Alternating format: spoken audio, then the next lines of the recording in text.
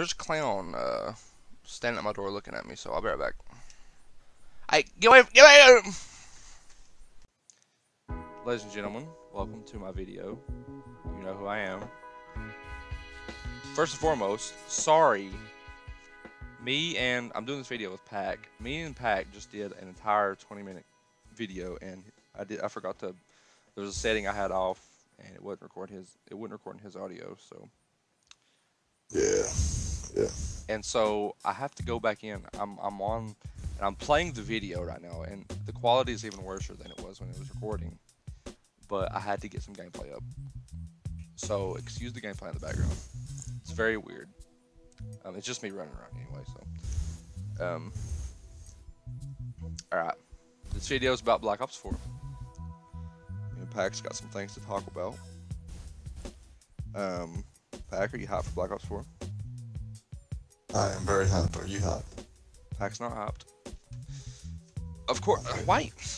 Why you even asking that?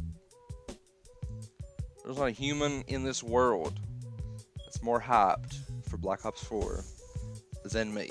Okay, I'm the biggest Treyarch fan. I'm the biggest Zombies fan. I have, as I said, I have Treyarch's logo tattooed on my butt. I have I have like 80 hours into Black Ops 3. Okay. Um, I want to marry Jason Blundell. I'm currently uh, singing. I'm doing. I'm going to do a video of me singing him a song. Um, so yeah, uh, of course I'm hot for Black Ops. on. Uh, pardon not. Um, of course I'm hot for Black Ops 4. Um, can't wait for it. I'm going to be first in line at the midnight release. Um, and if there's someone ahead of me, they're going to get punched. Um, there's no, there. I will not allow someone to buy this game before me. I better be the first purchase. I will not allow someone to buy Black Ops 4 before me. I might do a vlog. I might upload to my YouTube channel. And if Pat goes with me, I'll get him in the vlog. Um, I always vlog. No, no. Anyway, um, Black Ops 4 campaign. I hope that the campaign goes back to the roots of what made Black Ops campaigns so dang good. Well, Black Ops 3 was mind bending, so I can't really say that Black Ops 3 wasn't mind bending because it was from what I played of it and from what I've seen videos on it. Because I haven't beat the campaign fully. Yes, I know I'm a huge Treyarch fan, but I haven't beat that campaign just because it got so weird. Um, still good though. Uh, but I hope it just gets back to the way Black Ops 1 and 2 were. Those campaigns are great. They're masterpieces, actually. Um, I hope that 4 goes back to that. Pack, what's your thoughts? Uh, I feel like it's gonna go to a Call of Duty Black Ops 2.5.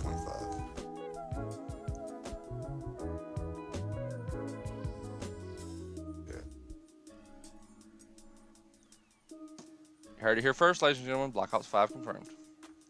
Um, Black Ops. no, I, I, I agree completely. Black Ops Black Ops 4 in many ways is the Black Ops 3 I always wanted, even though I love Black Ops 3.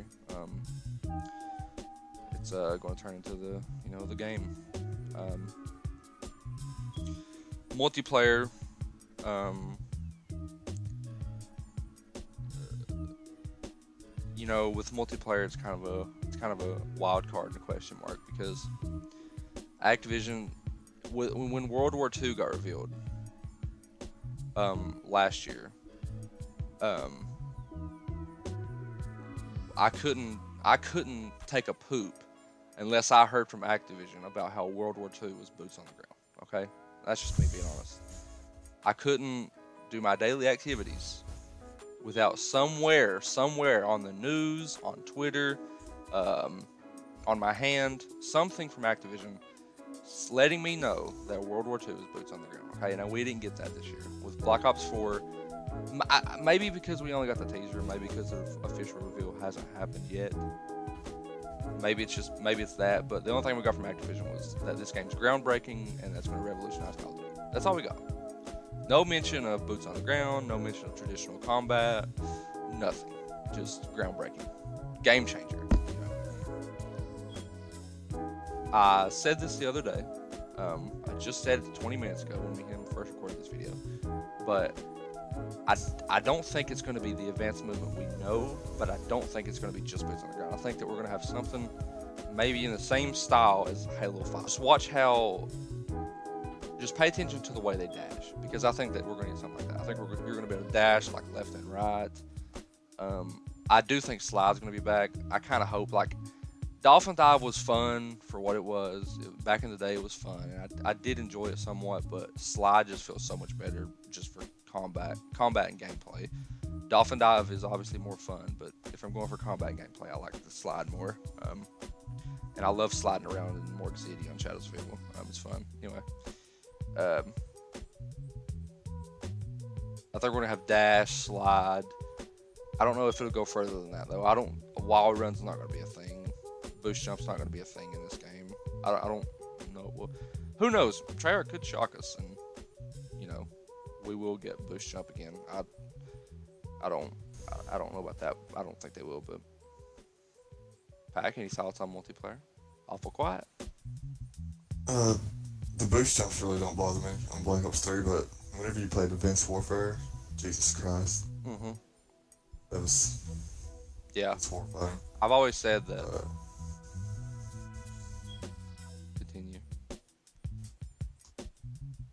uh, it felt like he was going to the moon. It really did. Yeah, like we have a third friend whose name we won't mention on stream, but he always, uh, or on the video, um, um, he always says that advanced movement ruins. Um, why did Pack just leave? He just messed up the recording of this video. I'm going to continue anyway. Um, we have a third friend who, um, Woody the Woodpecker. Love you, Woody the Woodpecker. Um,